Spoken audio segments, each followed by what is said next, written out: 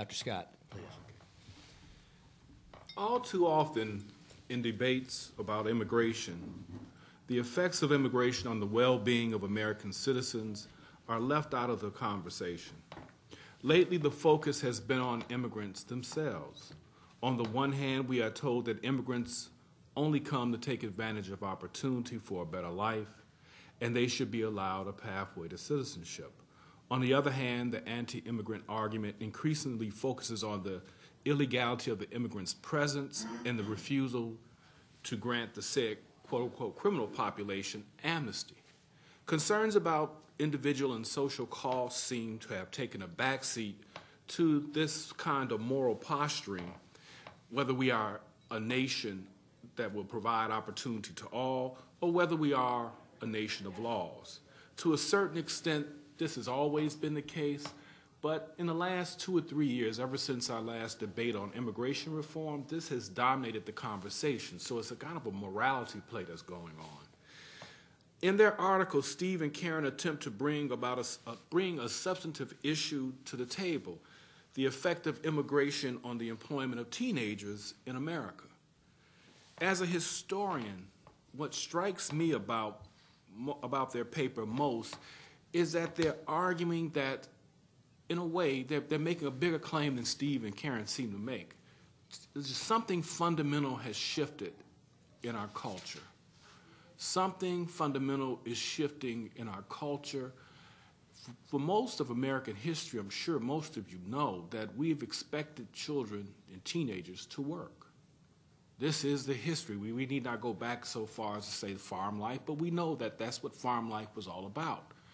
We also know that with the rise of industrialization, we once again expected, well, people expected children to work to such an extent that we had to put child labor laws in place so that in an industrial society that we did not abuse children's labor and, and so that they could go to school and develop themselves. So we've always tried to strike this balance in the modern era between children acquiring the skills through work and going to school and becoming educated.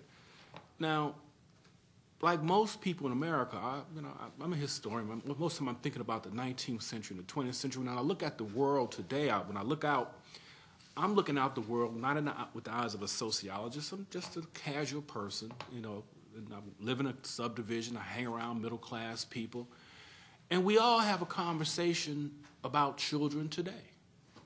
We all tend to participate in these conversations. And my neighbors will say, well, children, you know, the teenagers won't work. So this is not just a concern that people have about wealthy people. We all seem to think, and this is all walks of life. I've heard white people say it, I've heard black people, Hispanics say, we can't get the kids to work like they used to. And usually when people start talking about the lack of some population to work, we'll just simply sum it up in one word lazy. We assume that, that the people who are not working are lazy. I've heard this argument when I've done interviews in the South about the local black, black population, and you scratch it a little bit more and you'll find out that, well, it's a little bit more complicated than that. It's something about opportunity. It's something about wages, the standards of the wages, and this is what it is. And so what we're seeing then, what we're witnessing, is that individuals and corporations both seem to be making a decision not to employ teenagers. And when I say individuals, I, it's something we note. Steve and Karen point out that adults are doing the work that children used to do. So let's put the question of immigration aside. We have professionalized the work that's historically been done by teenagers. So a kid who wants to make money can't simply borrow his parents' lawnmower. And if you were like me, you didn't have a lawnmower to borrow, you couldn't even take the first job to make the money to buy the lawnmower, you know, get a little work, borrow a lawnmower, and then you buy your because now you're competing with people who cut lawns professionally. And I'm struck by the fact that, at least in my community, it's not cut by individuals. The lawn services, they bring a crew in. and it's capitalized in a way that kids can't capitalize anything. So the crew comes in with a truck, with a trailer, big riding lawnmowers, two, three side lawnmowers, gas leaf blowers, and they're done with a yard in 15 minutes. Versus the kid down the street, if he were not lazy, he would do it by himself with a lawnmower. He would have to have the gas powered edger to do as good a job. And maybe his mother or father would not want him with the gas edger because it might just get your ankle. And so we're looking at the professionalization of law. And it hadn't struck me that that was where really was going on. So it was really unfair to the kids to think that they can compete with adults. And when you walk through this, and even when we start talking about babysitting with the au pairs, and you say, okay, yeah, I lived in New York.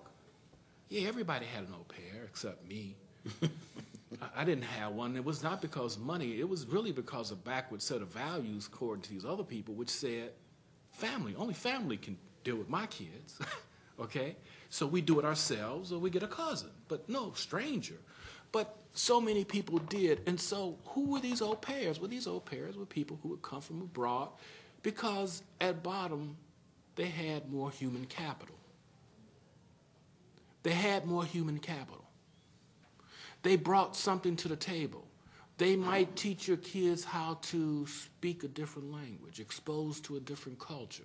Now, mind you, indigenous Spanish speakers would have performed that same service, right? Maybe.